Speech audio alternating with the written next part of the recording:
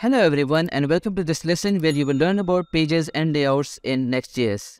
So first of all, you need to know the basics about what a page is and what the layout is. So if you see over here, you have Next.js official website open in front of you.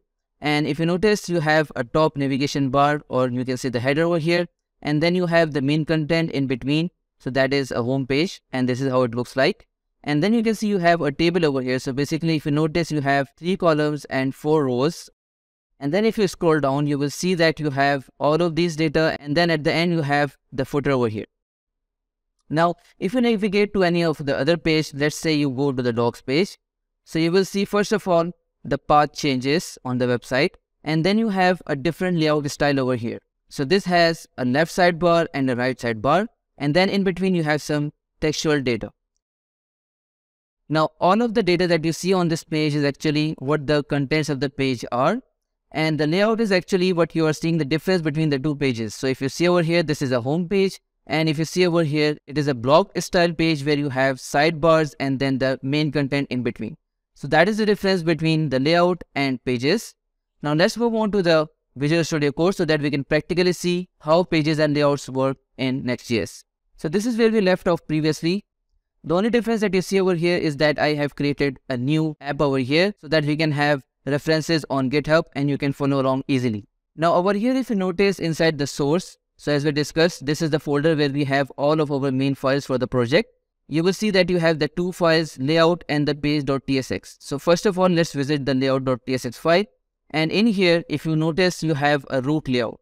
So root layout is basically an essential part of the layout and this is something that is followed along on all of your pages. So in short, whatever the root layout you have decided for your website will be reflected on all of your web pages. And then if you come on to the pages.tsx, you will see that you have some content over here that is being displayed on this page. Now let's move on and see how you can create a new page. So for that, what you need to do is, you need to go into the source app and create a new folder. And inside the folder, let's name it as dashboard. So let's say you want to design a web page for dashboard. Now inside the dashboard, you will create a new file and then name it as page.tsx. Then we need to give in the content. So for the content, I will just copy all of this. And you notice over here that the function for the home page is named as home.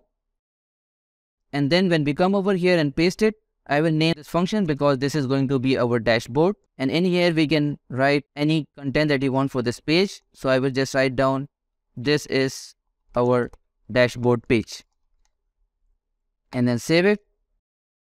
Now moving on to our website, if you want to access this web page, you need to write down slash and then dashboard over here and hit enter. So now you will see that it will take you to our dashboard page. So you see how easy it is to create a page. So whenever you want to create a new page in your Next.js application, you need to create a folder for each of your pages. So if you see over here, it follows the same layout for both of these pages. Now let's see how you can change the layout and how does it really matters for the root layout and a dashboard layout. So first of all, we will go on to our root layout and let's say you want to add a navigation bar over here. So for that, what I will do is I will just go into my body and over here, I will add a new nav bar. So for that, you use the tag nav and just write down the text. This is our main nav bar. Obviously, you won't have such a big text for your navigation bar, but this is just to explain you that how these things work. So you can see over here that you have the nav bar on your home page as well as on your dashboard. So you can see over here, whatever you have in your main layout or you can say the root layout is being reflected on both of your pages, dashboard as well as your home page. Now let's say you want something different on your dashboard, but you do not want that to appear on your main home page, right? So for that, what you will do is Inside the dashboard folder where you have created the page.tsx file, you will have to create a new file again and then name it as layout.tsx. Now whatever the layout you want on your dashboard page, you need to just create it over here. So for that, I will go to my previous root layout and over here I will just copy this function for the root layout. Paste it over here and instead of naming it as root layout, I will name it as dashboard layout.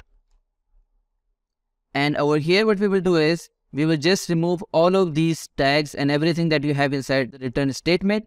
Now one thing is very important over here to note that the HTML tags and the body tags can only be inside your root layout and not in all of your different web page layouts. This is because by default Next.js doesn't create these tags. So you need to make sure that your root layout has these tags for HTML and body. So for now I will just remove it from over here and then I will add a new section. And inside the section as you see over here for the main layout you need to call the children over here, right? So for that, what we will do is we will just use the curly braces and over here we will write down children. Now the children for this layout is actually the page that resides inside the dashboard folder, but not the main page, right? Just keep that in mind. So let's see how that works. I will just save it for now. And once you go to the dashboard, you will see over here that now you have this dashboard over here. And this is the content for your dashboard page. Now, if you just remove it from here and try to save it, you will see that it just disappears from here because you haven't called the children over here, right? So I will just keep it again. And now we will add a new nav bar over here. And inside the nav bar, we will say that this is the dashboard nav bar. Let's save it.